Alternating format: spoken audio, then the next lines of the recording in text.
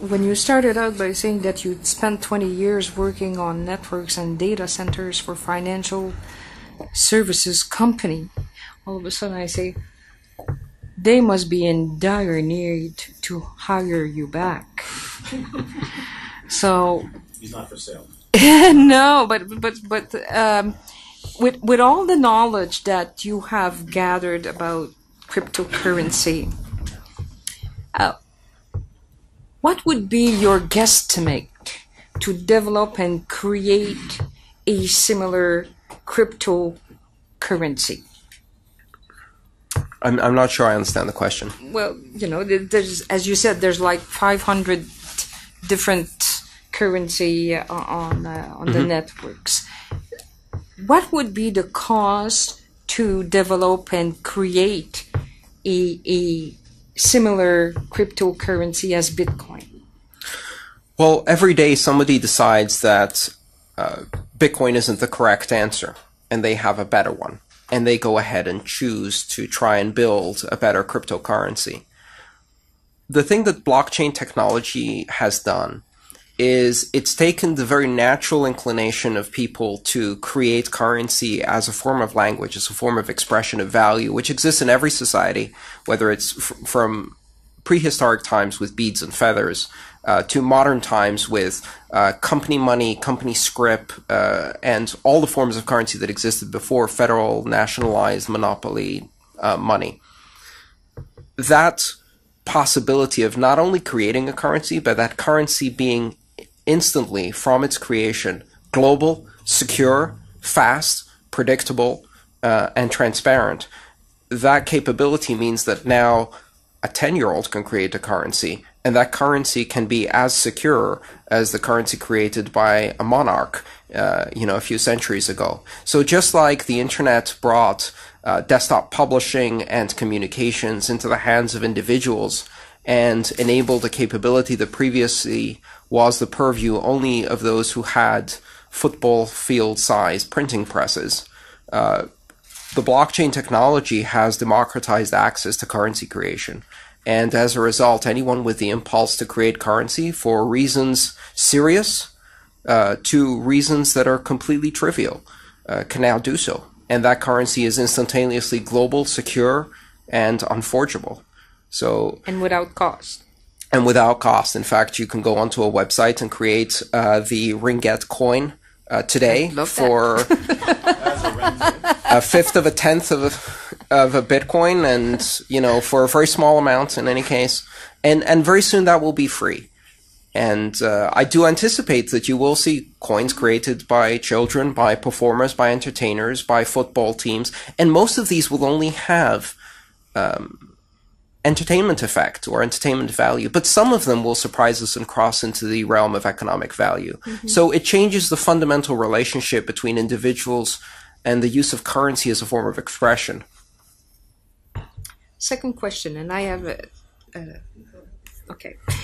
You said while individual Bitcoin wallets can be targeted and compromised, uh, if not properly secure, how can one properly secure its Bitcoin wallet?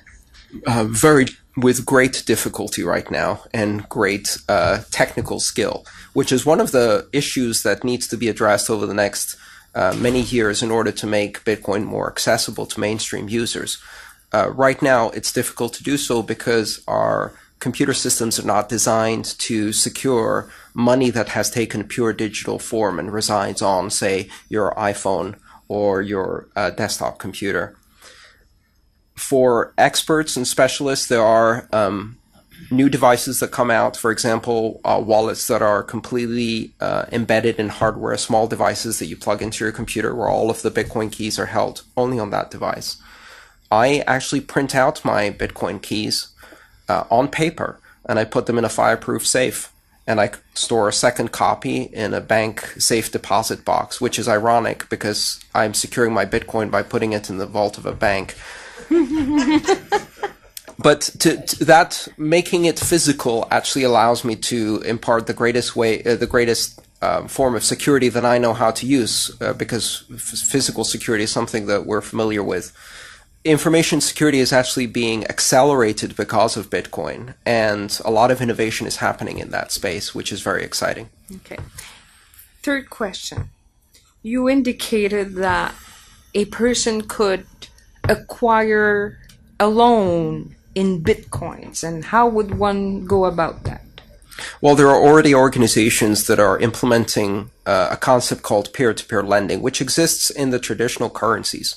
Uh, for example, um, in the traditional currencies, there are uh, companies like lendingclub.com where I can go out and make a loan to uh, a fellow American who, and they will end up paying a lower interest rate than a credit card, and I'll actually get an interest rate that's higher than I would with a certificate of deposit. And if I diversify my loans enough and only invest a small amount in each loan, I can suffer a pretty low default rate. That model can now be taken global and I could lend uh, money with Bitcoin, and there are companies already doing this uh, to someone anywhere in the world.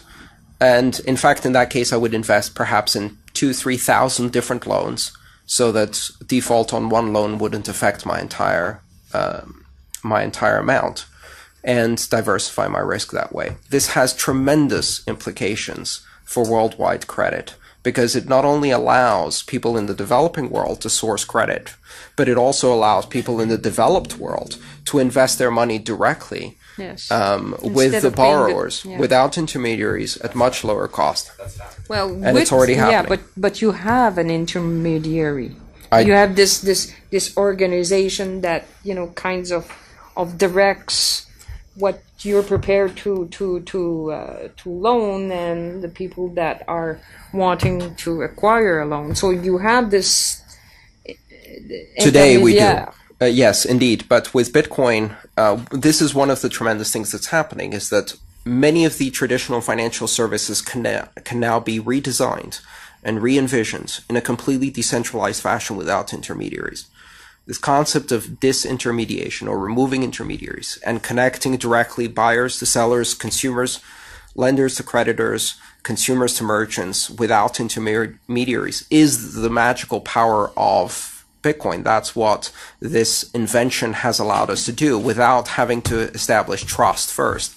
So with Bitcoin, we can have a completely decentralized market for credit and lending that is simultaneously global, near instantaneous, uh, and that allows access to a vast pool of credit.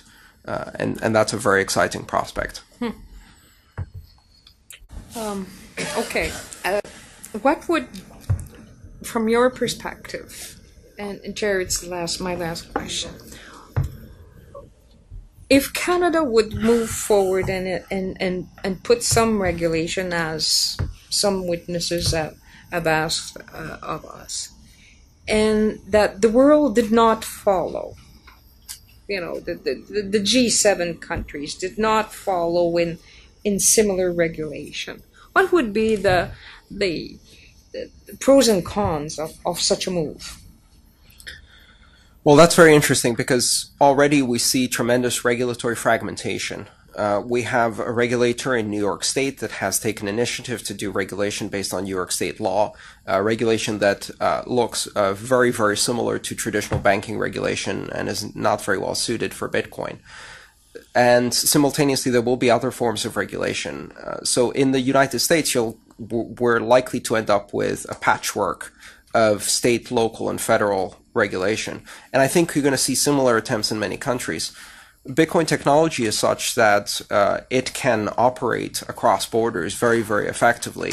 And therefore, uh, Bitcoin companies can migrate to the area of least friction and can create the jobs and the innovation and the growth in the places where regulation is best informed about the nuances and particular needs of Bitcoin com- companies. So I think Canada and other countries that are looking at this regulation very carefully rather than rushing into it have an opportunity to create an environment that is very friendly to those companies and attract one of the industries that, quite frankly, is creating thousands of jobs today, which cannot be said for too many other industries. Thank you very Thank you. Thank you very much.